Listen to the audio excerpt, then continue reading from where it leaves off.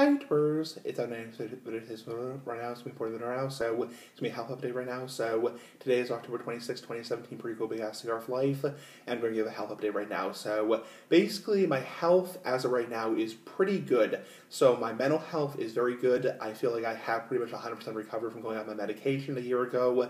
I definitely feel a lot better, a lot happier.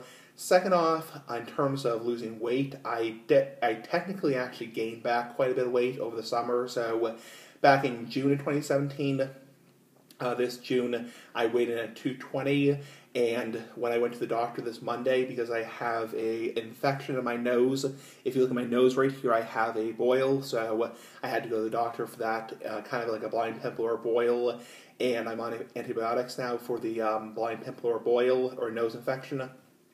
I weighed in at 233. So while this is never going to be like a manly, muscly, ripped, six pack, 17 inch know, channel, I am not happy. I'm not happy I gained back about 10 pounds. So I can tell you right now it's from eating all that ice cream over the summer. So eating all that ice cream and watching YouTube, big cigar for life. So definitely gained back about 10 pounds over the summer.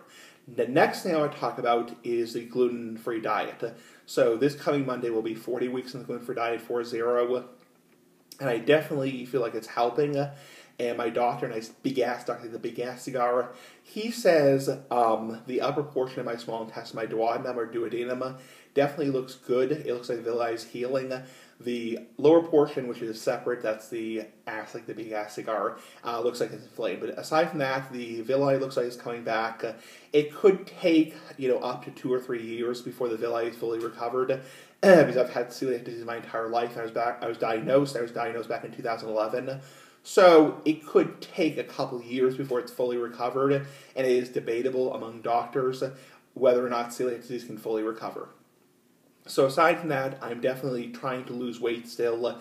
I would like to be ideally around like 200 pounds or so. Again, not a manly, muscly, ripped 17 inch channel, but you get the point. It has cigar for life.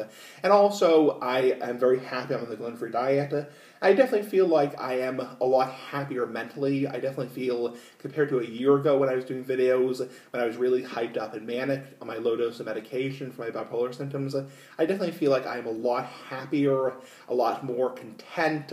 Definitely feel like I'm a lot less in my head. So, um, you get the point. So, aside from that, my health is going overall pretty well. My blood pressure has stabilized. I'm not, I don't have as high blood pressure as I did, mainly because I'm not eating as much. Um, last fall I was eating like a pig, so I was eating a lot of food. Also was smoking a lot, so I have cut back on smoking two, two or three times a day, as compared to you know three, four, five times a day. So I definitely, well, maybe not five times, but you get the point. So I definitely feel like I have um, you know, overall improved my health. I'm not happy that I gained 10 pounds.